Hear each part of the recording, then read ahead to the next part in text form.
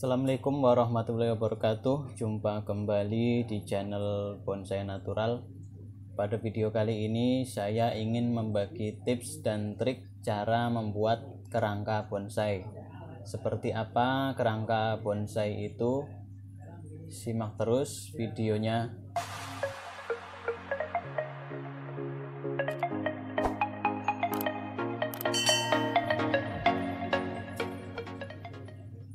Oke, yang pertama-tama kita harus memiliki bahan bonsai. Ini adalah pohon beringin ya, bonsai beringin. Ini jenis beringin jenis beringin sungsang. Seperti ini daunnya beringin sungsang ya, tulang daunnya itu di luar tulang daunnya di luar dan di sini tidak ada tulang daunnya. Yaitulah ciri-ciri beringin sungsang. Ya ini saya awalnya ngambil dari nyaput ya dari sebesar jari anak jari jari kelingking. Dan pertumbuhannya sekarang seperti ini.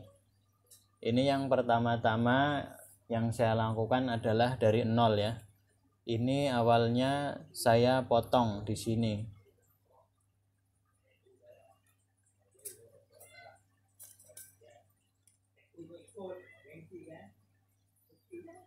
Ya ini awalnya saya hanya batang. Batang satu sekecil ini kemudian saya potong.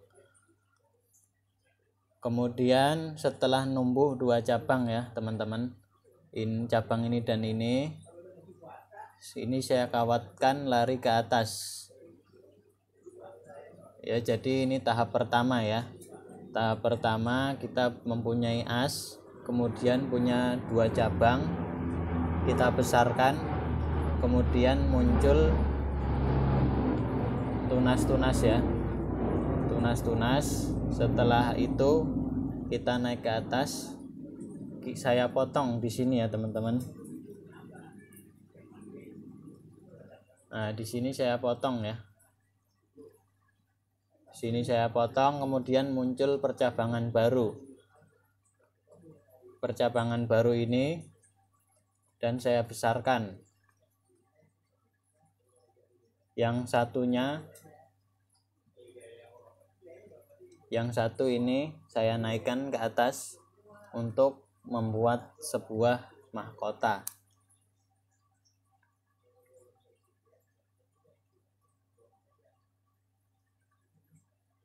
Kita cek di dekat mahkota sini ya. Ini ada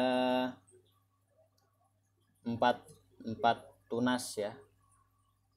Empat tunas ini akan saya besarkan untuk membuat mahkota. Ini sudah saya kawati. Setelah itu langkah berikutnya kita lakukan pengelosan. Semua dilos untuk mengejar besaran dari pohon ini seberapa besarnya ya?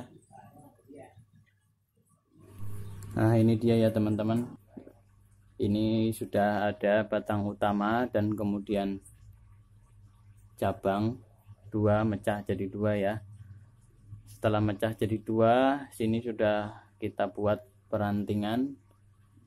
Dan untuk calon mahkota sudah kita buat perantingan di sini untuk mengisi dimensi ke kiri. Kalau tampak depan di sini ini nyebutnya kiri ya. Ini ke kiri ini untuk back ke belakang. Ya ini tampilan dari belakang. Kemudian kita lari ke arah mahkota. Mahkota ini ada empat ada empat titik tumbuh ya dan saya kawati pengawatannya cukup sederhana saja kita sedikit liukan saja.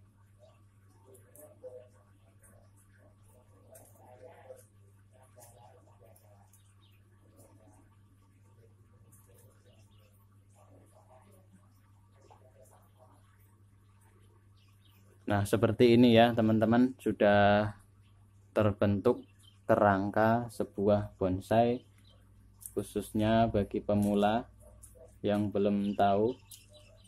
Jika suka dengan video ini dan bermanfaat diminta untuk subscribe like supaya channel ini berkembang. Sekian dari saya semoga bermanfaat. Salam satu hobi salam bonsai